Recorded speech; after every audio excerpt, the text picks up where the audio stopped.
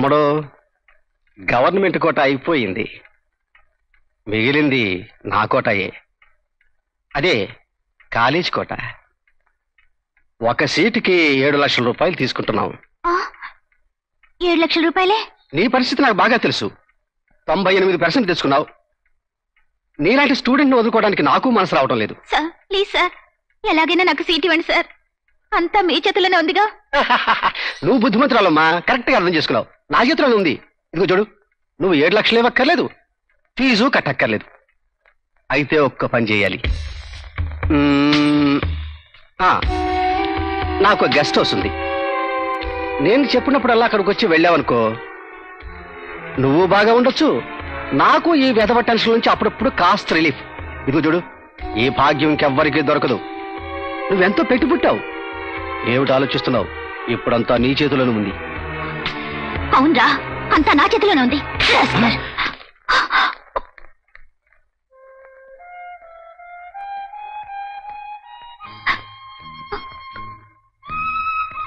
గీత? ఏమిటన్నయ్యా? పొద్దున్నే ఇంటర్వ్యూకి వచ్చావు రిజల్ట్ అయింది ఇంట్లో అందరూ నీకోసం ఎదురు చూస్తున్నారు నువ్వేమో ఇలా ఒంటరిగా క్యాంటీన్లో కూర్చున్నావా ఏమైంది? సీట్ దొరకలేదా? నేను బీఎస్సీ చదువుతాను మెడిసిన్ వద్దు చాలా కష్టంగా ఉండేట్టుంది. సీట్ దొరికిందా లేదా? దొరికినా వద్దు. అయినా దానికి ఎంతో పుణ్యం చేసి పుట్టాలి. పుణ్యం చేసి పుట్టాలా? నువ్వేం పాపం చేశావు? పేదింట్లో ఆడదానికి పుట్టానే. ఇంట్లో ఉండి చదవచ్చు. హాస్టల్లో ఉండి చదవచ్చు. కానీ గెస్ట్ హౌస్కి వెళ్ళి చదవాలంటే.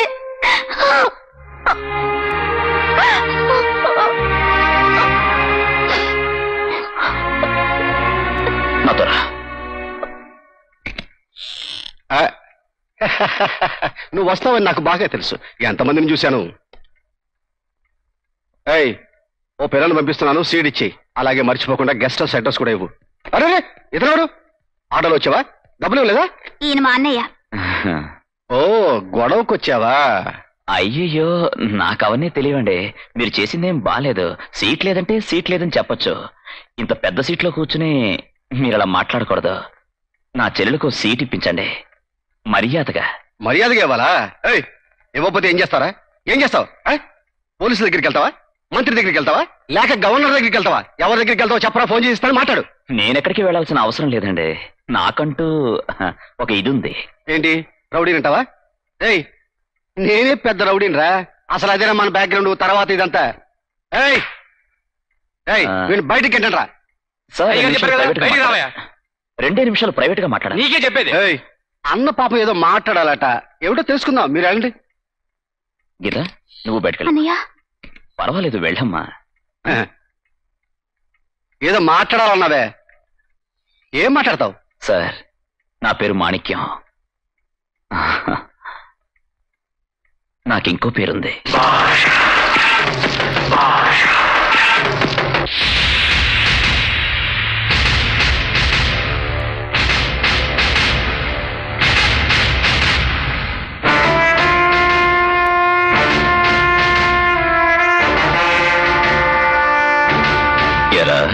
బయట ఎవరికి చెప్పవుగా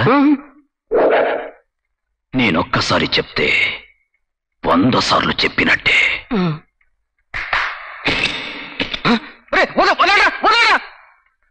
అన్నా ఒక్క సీట్ ఏమిటన్నా? వంద సీట్లు ఇస్తానా వంద వెయ్యి సీట్లు ఇస్తానా అన్నా అసలు ఈ కాలేజీ మీద రెండన్న కూర్చొని కూర్చోనన్నా? రెండన్న ప్లీజ్ నేను వస్తా సార్. అన్నా నేనే నా కారులో. పర్వాలేదు పర్వాలేదు. నీకు సీటు దొరికింది. థ్యాంక్ యూ అన్నయ్య.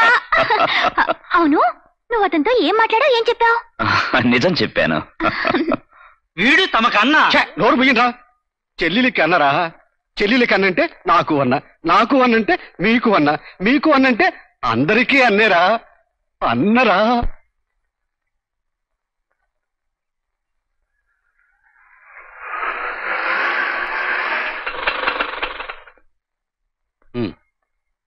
కమాన్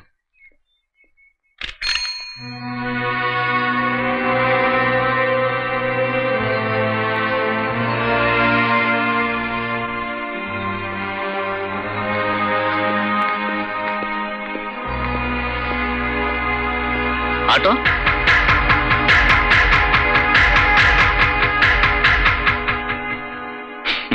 ఎక్కడికి వెళ్ళాలండి సినిమాకా? బీచ్కా? పార్క్కా?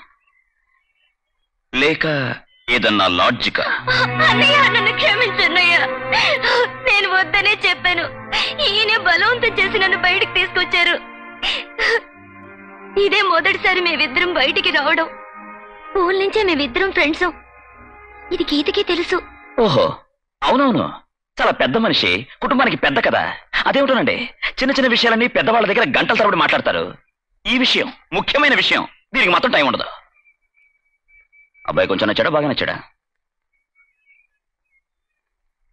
బాగా నచ్చాడా? నాకు నచ్చకపోతే? నిజంగా నేను ఇతన్ని చూడనే చూడను. ఈ కథలని మన దగ్గర వద్దు. ఎన్నో చూసాం. బాబు రేపే మీ ఇంటికి మాట్లాడడానికి వస్తాం. ఏమిటా మాట్లాడి ఏమండి? నువ్వుండు. రోజు రోజుకి వందకి రెండు వందలకి వీధి వీధి తిరిగే ఆఫ్టాల్ ఆటో డ్రైవర్వి? ఎంత ధైర్యం ఉంటే నా ఇంటికి వచ్చి సంబంధం వెళ్తా నా ఆదాయం ఎంతో తెలుసా నీకు? నా బ్యాంక్ బ్యాలెన్స్ ఎంతో తెలుసా నీకు? నా ఆస్తి విలువ ఎంతో తెలుసా నీకు? నా పరమ దేవుడు తెలుసా నీకు? నువ్వు జీవితాంతం ఆటో తోలినా సరే నేను ఒక్క రోజులో సంపాదించే సంపాదన నువ్వు సంపాదించలేవు. నా ఒకే కొడుకుని పట్టుకుంటే ఈ ఆస్తి మొత్తం కాజేయొచ్చని నీ చెల్లెని ఎరేసి నాటకం ఆడుతున్నావా? పోరా బయటికి. ఆపండి. ఎవరితో ఏం మాట్లాడుతున్నారు? మీ పరపతి బ్యాంక్ బ్యాలెన్స్ ఆస్తి విలువ. ఇవన్నీ వీడి కాలి గోటికి సరితూగుతాయా వీడెవరో తెలుసా మీకు అమ్మా మా అమ్మ ఏదో అనేసింది. క్షమించండి. అయ్యా ఒక అబ్బాయి అమ్మాయి వాళ్ళ యవ్వనంలో ఏర్పడిన తొలి ప్రేమని వాళ్ళు జీవితాంతం మర్చిపోలేరు. ఎంత పెద్ద అంతస్తులో ఎంత గొప్ప వాళ్ళకిచ్చి పెళ్ళి చేసినా కూడా ఆ మొదటి ప్రేమని వాళ్ళ హృదయాల నుంచి చెరిపేయలేం. అది ముళ్ళుగా మారి వాళ్ళని జీవితాంతం బాధిస్తూనే ఉంటుంది. ఆ పాపం మనకెందుకండి? వాళ్ళ సంతోషమేగా మన సంతోషం? వాళ్ళిద్దరినీ ఒకటిగా చేయడం కోసమే నేను మీ ఇంటి గుమ్మంతో కొచ్చాను. మా అమ్మాయి. డబ్బులు లక్ష్మి కాకపోయినా గుణంలో మహాలక్ష్మి. ప్రేమతో అభిమానంతో మెట్టినింట ఎలా మెలగాలో చెప్పి మరీ పెంచాం. నిజానికి ఆమె మీ ఇంటి కోడలు కాదండి. కూతుర్లా మసులుతుంది. మిమ్మల్ని కాపాడుతుంది మీ గౌరవాన్ని కాపాడుతుంది అన్నిటినీ చూసుకుంటుంది. ఈ పెళ్ళి వద్దని చెప్పకండి. మీరేం చెప్పినా సరే ఎంత ఖర్చైనా సరే నా శక్తికి మించి ఈ పెళ్ళి జరిపిస్తాను. వాళ్ళిద్దరినీ ఒకటి చేయండి. మీ కాళ్ళ మీద పడి నువ్వెందుకు ఆయన కాళ్ళ మీద పడతావు? నా బిడ్డ ఎవరి కాళ్ళ మీద పడ్డా నేను చూడలేను. డబ్బే ముఖ్యం డబ్బే సర్వస్వం అనుకునే ఈ కుటుంబంలో నా బిడ్డనిస్తే అది ఏమాత్రం సంతోషంగా ఉండలేదు. అబ్బాయి మాత్రం మంచివాడైతే ప్రియలేదు. మామగారు అత్తగారు ఆ కుటుంబం అంతా మంచిదైతేనే ఆ ఇంటికి వెళ్ళే పిల్ల సుఖంగా ఉండగలదు. ఈ ఇంట్లో నా బిడ్డ సుఖంగా ఉంటుందన్న నమ్మకం నాకు లేదు. ఈ సంబంధం మనకొద్దు రా బాబు పోదాం. అమ్మా నువ్వు తొందరపడకు. ఇది నా మానాభిమానాల సమస్య కాదు. కవిత జీవిత సమస్య. ఆమె కోరుకున్న వాడితో పెళ్ళి చేయడం పెద్దవాళ్ళమైన మన ధర్మం. అందుకోసం ఏమైనా చేయొచ్చు. అలాగని ఎవరి కాళ్ళ మీద పడాల్సిన అవసరం లేదు. నా అన్నయ్య నా కోసం ఎవరి కాళ్ళ మీద పట్టం. నేను సహించలేను. ఇదంతా ఒక కలగా తలుచుకొని మర్చిపోతాను. జీవితాంతం నీ చెల్లెలన్న గర్వంతోనైనా జీవిస్తాను. రాన్నయ్య పోదాం. ఆగు బాబు. లేని వాళ్ళు డబ్బు కోసం ఏదైనా చేస్తారని అపోహపడ్డాను. వాళ్ళకి డబ్బు కంటే కుటుంబ గౌరవమే ముఖ్యమని ఇప్పుడే తెలుసుకున్నాను. కొడుకును వదలలేని తల్లి అన్నను విడిచిపెట్టలేని చెల్లెలు చెల్లెల కోసం అభిమానాన్ని చంపుకున్నా అన్న. ఇలాంటి కుటుంబంలోంచి కోడలు రావాలంటే మేవెంతో పెట్టి పుట్టాలి. రే ఒప్పుకున్నాను రా ఇవాళ నుంచి మీ అమ్మాయి మా కోడలు. కాదు కాదు కూతురు. వెంటనే పెళ్ళి ఏర్పాట్లు కానివ్వండి. చాలా సంతోషం.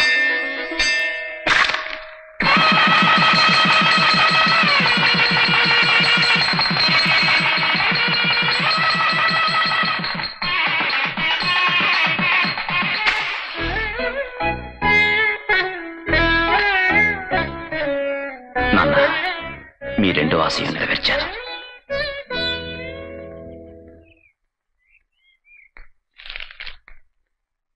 ఏంటయ్యా మూర్ఖంగా మాట్లాడతారు? కొంచెమైనా బుద్ధుందా? ఆ? డైమండ్స్ ఇచ్చేసి డబ్బు తీసుకోకుండా వచ్చేస్తారా? సార్ జార్జి తీసుకొచ్చిన పార్టీ సరైంది కాదు. వాళ్ళిద్దరూ మనల్ని మోసం చేశారు.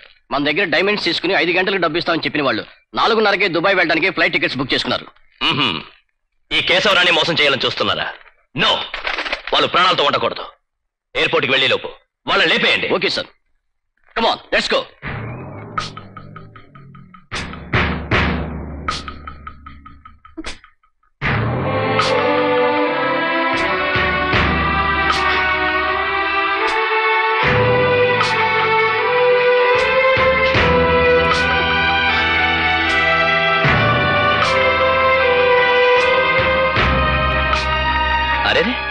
ఏంటి నా కూతురే శారీలో చాలా అందంగా ఉన్నావమ్మా ఏంటి? అదోలా ఉన్నావు? ఏ లేదు ఎక్కడికి బయలుదేరా షాపింగ్కి ఆ, ఏ కార్లో వెళ్తున్నావు? ఆటోలో. ఏంటమ్మా ఈ మధ్య ఆటోలోనే తిరుగుతున్నావు? ఈవేళ నేనే నేను డ్రాప్ చేస్తాను. రా. వద్దా. రామా రా.